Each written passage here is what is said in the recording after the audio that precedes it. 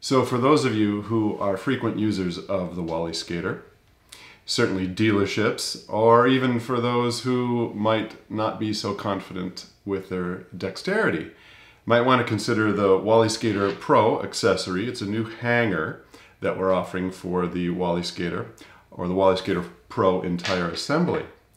Instead of using the hanger, which you've come to know, that suspends the plumb bob and the yellow string which holds onto the finger lift of the tone arm.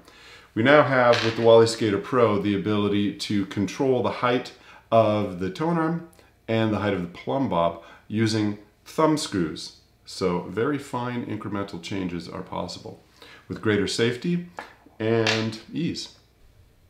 So simply put the Pro hanger on the upper beam and I suggest having the yellow thumb screw pointing outward as that is the one that you'll be using more often.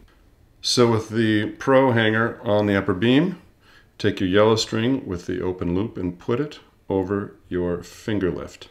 Make sure that the blue line and the yellow line are not twisted.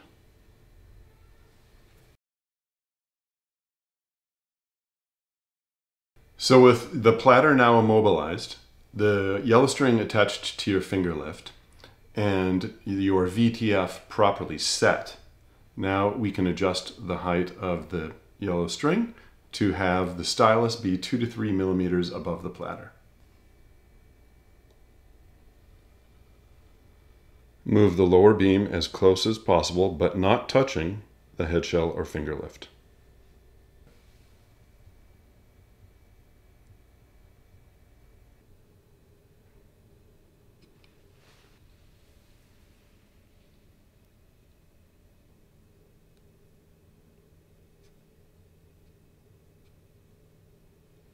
So not all tone arms come with a finger lift.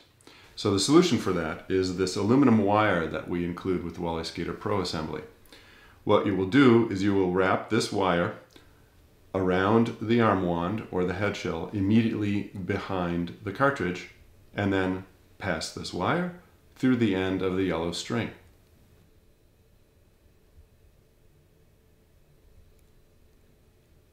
Twist the wire around itself to form a loop on a loop. This wire is very lightweight and non-magnetic. One final tug on that. And now let's take up the string.